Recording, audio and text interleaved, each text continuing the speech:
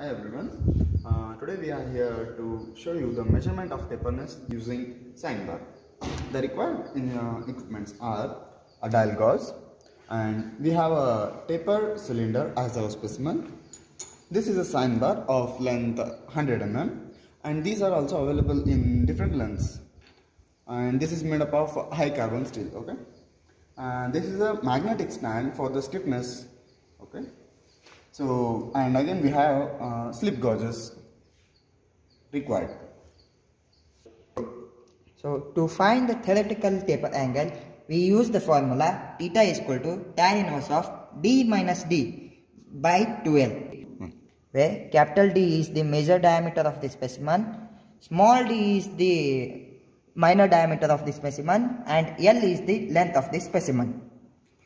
So using vernier calipers, we have found out the major dia as 17.99 which is approximately 18 and uh, minor dia as 14.28 which is approximately 14 and length of the taper length as 69.98 which is 70 mm. So uh, by substituting all these in the theta is equal to tan inverse of d minus d by 12 which is theoretical taper angle we have found out uh, theta as 1.44 radian which is also equal to 1.29 degrees. Okay, so to find the height of the slip gauges, we have the formula theta equals to sine inverse h by 2l where L is the length of the sine bar which is 100 mm and h is the height of the slip gauge. Substitute theta from the theoretical taper angle and we'll get the height as around 5.01. So we have found out the h value as 0 uh, mm. So from the slip gauges box, we, uh, we have to take two slip gauges which can combinedly make approximate value to 5.01. So we have taken here as 5.4 mm.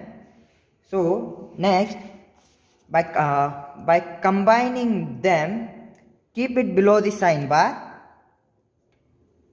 and Take the specimen and the minor, uh, minor diameter side should be on the incline and other should be on opposite. So now hold it stiff and turn on the magnetic stand. After this, take the dial gauge and we have the least count of this dial gauge as 0.001 mm. It is the least count of this dial gauge, okay? So it has 200 divisions inside the dial gauge. So one revolution of this needle makes 200 microns. So first we'll place it on the minor dia side. Hmm. We'll measure the angle you can see the deflection when the mic dial gauge touches the specimen. So we need to consider the maximum deflection. Yeah we can see the dial gauge decreasing as I move forward. So the maximum deflection was 50 Alt. So we got the minor diameter side deflection was around 50 and so now we are checking on the major diameter side.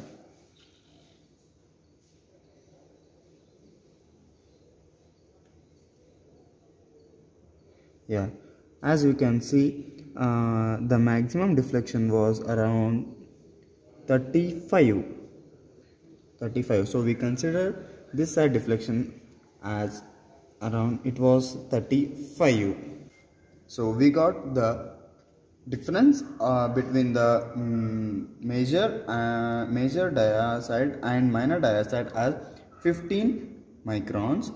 Uh, the maximum acceptable difference is 20 microns. So which states that the surface and the specimen on the sine bar are parallel so this is the tabular column for the experiment. So here are the values for that. So from starting we have got uh, theoretical taper angle as 1.44. So from the given values we have to find the taper value using the formula sine inverse of pra practical value using the formula sine inverse h by 2l. So for the h we have taken 5.44 which is the gauge length, gauge height. So from that we are by applying the formula and the values in the formula we have got the taper angle as 1.44 so which is more accurately accurate to the theoretical uh, angle which concludes that the surface and the sine bar taper, uh, taper specimen are uh, parallel Hence the today's experiment and this was conducted by Shashank Mudol and Ajit Kuri. Thank you.